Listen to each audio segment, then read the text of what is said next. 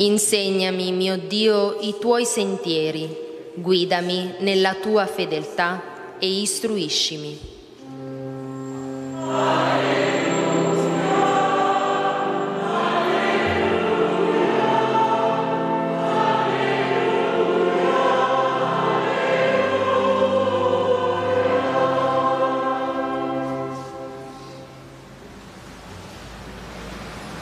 Il Signore è con voi. e con il tuo spirito. Dal Vangelo secondo Matteo. Gloria a te, o Signore. In quel tempo Gesù disse ai suoi discepoli, Non crediate che io sia venuto ad abolire la legge o i profeti. Non sono venuto ad abolire, ma a dare pieno compimento. In verità, io vi dico, finché non siano passati il cielo e la terra, non passerà un solo iota o un solo trattino della legge senza che tutto sia avvenuto. Chi dunque trasgredirà uno solo di questi minimi precetti e insegnerà agli altri a fare altrettanto, sarà considerato minimo nel regno dei cieli. Chi invece li osserverà e li insegnerà sarà considerato grande nel regno dei cieli. Parola del Signore. Lode a te, o Cristo.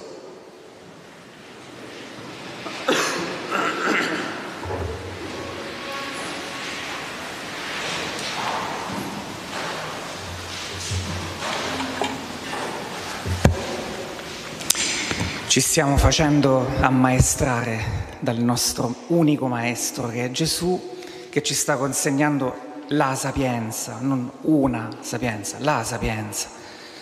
Cioè ci sta insegnando a leggere la vita, perché teniamo sempre dinanzi questo assioma.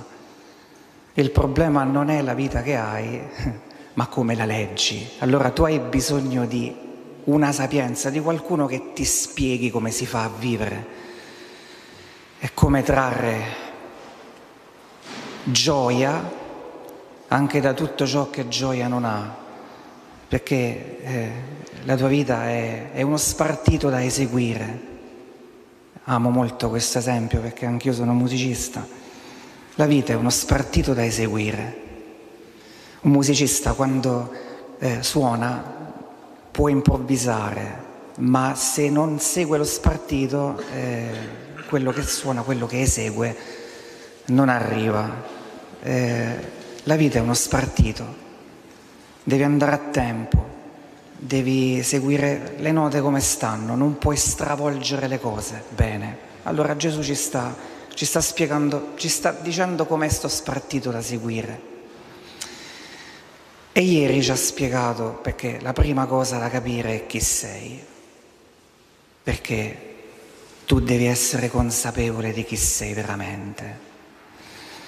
Ma oggi mette in chiaro una, un'altra cosa che è di base, perché eh, Gesù sta per dire tutta una serie di cose che cominceremo ad ascoltare domani, e cioè avete inteso che fu detto?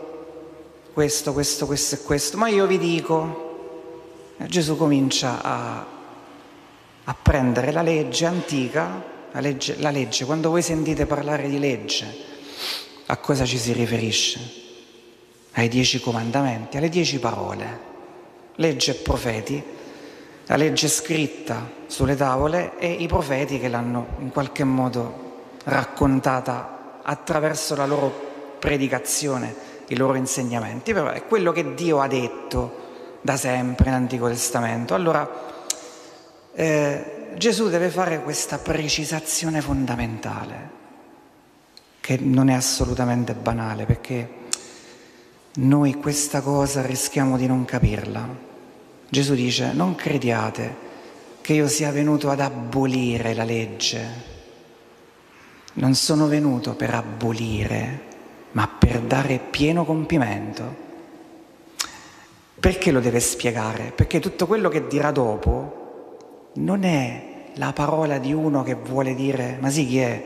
Tutte quelle che avete sentito fino a mo' è robetta, eh, quello che dico io è quello che conta, il resto toglietelo. No, no, no, ma perché voi non vi, non, non vi capita di sentire frasi di questo genere? Della serie, eh vabbè, ma noi siamo cristiani, l'Antico Testamento, via. E noi non siamo oltre queste cose. Cioè tendiamo, e in una maniera assolutamente sbagliata, a dipingere Gesù come un rivoluzionario, cioè come uno che ha stravolto tutto eh, perché lui è quello che va oltre la legge. No, no eh, noi, noi, non siamo più persone della legge, ancora, ancora, queste storie da bambini, no, noi, noi abbiamo capito, tutta la legge si riassume nell'amore e quindi la, l'amore, la libertà dei figli di Dio, noi, noi siamo liberi, noi non abbiamo più l'obbligo della legge. No, queste cose che sono vere, occhio, ma il punto è come le interpretiamo. Ma Gesù è un rivoluzionario? No, proprio per niente. Ma eh, Gesù è venuto a dire no, vabbè, togliete tutto quello che avete sentito, perché eh, voi non siete più sotto il gioco della legge, voi siete liberi. Sì, ok, ma che significa la libertà? Che cos'è la libertà? Eh, no, ma noi ormai eh, la nostra unica legge è l'amore. Sì, ma che cos'è l'amore? Eh, è qua di nuovo, siamo, abbiamo bisogno proprio di... Ecco perché Gesù deve fare questa precisazione chiara. Non sono venuto ad abolire, ma a dare pieno compimento. Perché questa sapienza di cui stiamo parlando, quella che ti aiuta a leggere la tua vita, quella che ti dà le istruzioni per l'uso della vita, mi piace usare sempre questa, questa espressione qui, che tu hai bisogno di avere le istruzioni per vivere. Queste istruzioni Dio le aveva già date. E non è che Dio si contraddice, perché il problema della legge non è che doveva essere superata. Il problema era che il popolo non l'ha mai osservata. Che cosa significa sono venuto non per abolire ma per dare pieno compimento? Sono venuto a spiegartela perché tu la possa osservare. Il problema non è quello che Dio ha detto. Tante volte, purtroppo in questi ultimi 60 anni ci hanno fatto il lavaggio del cervello continuandoci a dire che il problema è che dobbiamo cambiare tutto, dagli anni 60 in poi. Vi ricordate il 68? Che cos'è il 68? Eh, bisogna stravolgere, bisogna rompere col passato, bisogna rompere con la tradizione, bisogna togliere tutto. Perché il problema è che tutta sta roba è superata, per cui bisogna fare tutto nuovo. No, infatti i risultati si vedono. Viviamo molto meglio di prima. No, il problema non è quello. La libertà non è trasgredire, il, la persona libera non è quella che trasgredisce, la persona libera è quella che si sa dare dei limiti. Perché per poter scegliere, per dire un sì, quanti no ti devi dire? Abbiamo bisogno di una legge, tutti ne abbiamo bisogno, abbiamo bisogno di un padre che metta dei limiti è assurdo sto fatto che noi riteniamo simpatico uno che trasgredisce, anche dentro la Chiesa, eh? quelli che sono un po', capito, alternativi, detto tra noi, eh? cercate di non fraintendermi in quello che vi sto per dire. Papa Francesco ci, ci piace di più, ma perché? Perché è un po' più tra, tra virgolette, è un po' quello, capitemi, eh? non, mi tras, non, non, mi fraintendete, è quello che va un po' fuori dalle, dai binari normali. E poi dice, ecco, finalmente adesso cambia tutto, finalmente mo si toglie quello che è superato. No, no, non fate questo errore. Non si può abolire niente. La Chiesa rimane fedele a se stessa, cioè agli insegnamenti di Cristo, che a sua volta rimane fedele agli insegnamenti della legge antica. Io sono uno che insegna i dieci comandamenti, lo sapete, c'è bisogno che ve lo dico, ma voi non avete idea di che sapienza c'è lì dentro. Oggi voi andate a dire, che ne so, a quelli che hanno capito tutto nella fede che, che state, che ne so, state approfondendo i dieci comandamenti. Eh, ancora essi, sti tu. Eh, tutte cose superate queste. Superate? Infatti, cioè, si vede, eh, Gesù non è venuto ad abolire, è venuto a spiegare, a spiegare, perché la legge va compresa. E come va compresa? Va compresa alla luce di quello che Lui ti dice, perché Lui te ne dà la vera spiegazione, perché il problema nostro è che noi abbiamo bisogno di amare la legge. Abbiamo bisogno di saper amare il limite. Noi non siamo assolutamente capaci di regolarci nella vita. La libertà è una cosa che va educata. E sapete come si educa la libertà? Non facendo quello che ti pare, perché la libertà non è fare quello che ti pare, perché se fai quello che ti pare significa che non hai un limite. E infatti tutti quelli che pensano che la libertà sia fare quello che ti pare si massacrano nella vita, perché? Perché prima o poi andrai a sbattere se tu non hai un riferimento, un limite appunto, una strada, che cos'è una strada, una via? Una via è una direzione, ma proprio perché si chiama strada? Perché c'è un limite a destra e a sinistra e quindi tu segui quella strada e sai che non puoi andare né di qua né di là. Avete sentito eh, i profeti di Baal che saltavano da una parte all'altra? e lo ripete più volte il testo, che saltavano da una parte all'altra. Ma perché questi erano arrivati all'idolatria? Perché volevano essere liberi.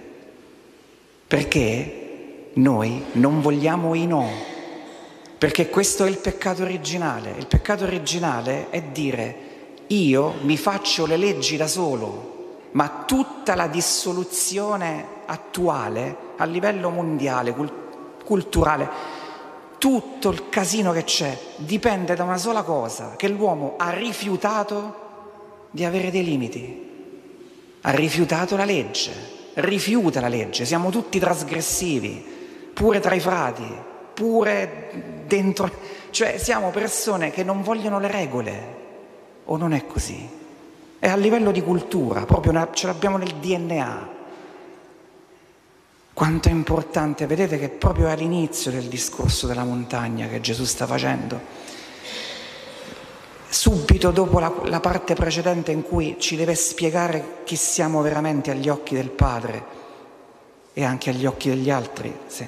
ma la prima cosa è impara che tu hai bisogno di una verità che ti, se, che, che ti indichi la strada non puoi andare a zonzo, non puoi andare a casaccio, non puoi spingere a casaccio i bottoni della vita, perché se lo fai ti fai male. Hai bisogno di fidarti di qualcuno, di obbedire a qualcuno. Mamma mia.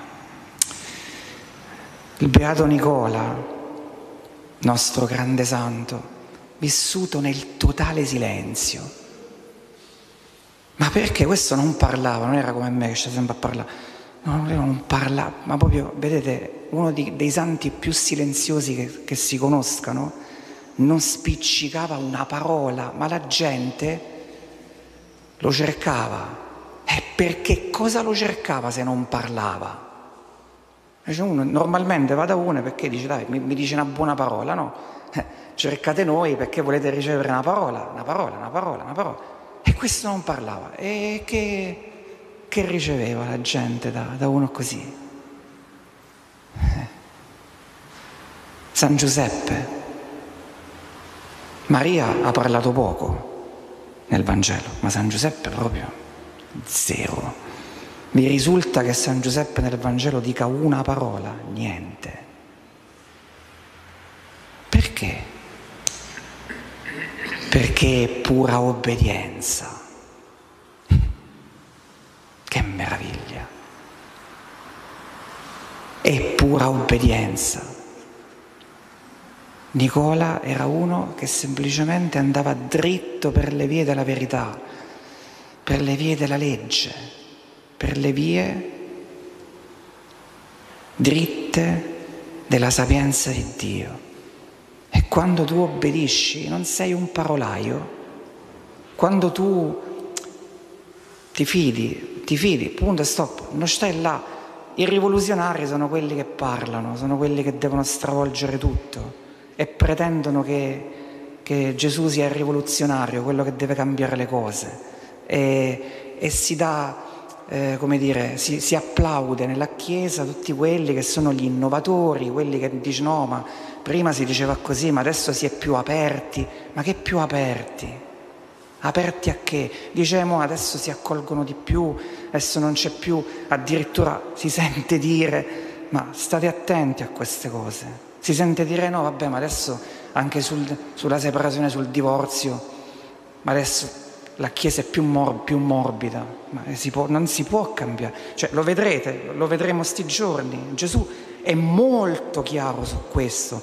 Se uno guarda una donna per desiderare, commessa adulterio, se, cioè è inutile dire, non GPM in giro, cioè è così, punto e stop. Non cambia niente, non cambierà mai e non può cambiare. Attenzione a questi tranelli, perdonatemi se ve lo dico con voce decisa, ma è un tranello che serpeggia tantissimo dentro i nostri ambienti, che adesso no, le cose sono diverse, quindi forse c'è una riforma, che riforme? Riforma, l'unica riforma è che tu obbedisca e non, non ci sono altre vie. Se noi non osserviamo le regole, cioè la legge, cioè la sapienza di Dio, il male lo facciamo a noi stessi.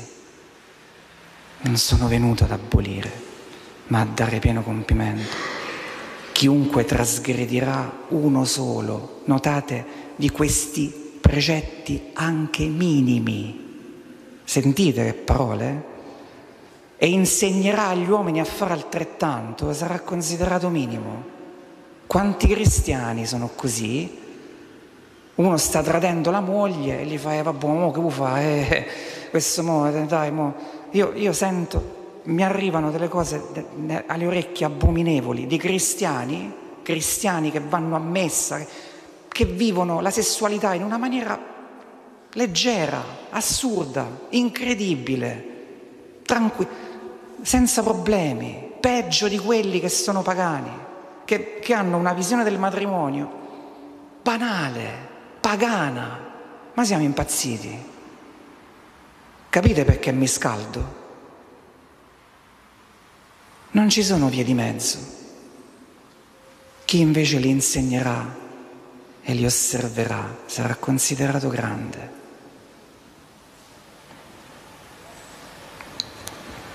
Signore, dacci, dacci la grazia di comprendere di quanto è preziosa la tua legge, di quanto è preziosa la verità che ci hai trasmesso, di quanto abbiamo bisogno di imparare, perché non abbiamo capito niente. E ogni giorno noi dovremmo svegliarci e dire io ho solo da imparare, io ho solo da comprendere, io ho solo da obbedire da osservare, dacci l'umiltà di ascoltare, dacci l'umiltà di essere obbedienti alla voce del Figlio tuo Gesù, unico nostro Maestro. Eleviamo a Dio la nostra preghiera. Diciamo insieme, ascoltaci, o oh Signore.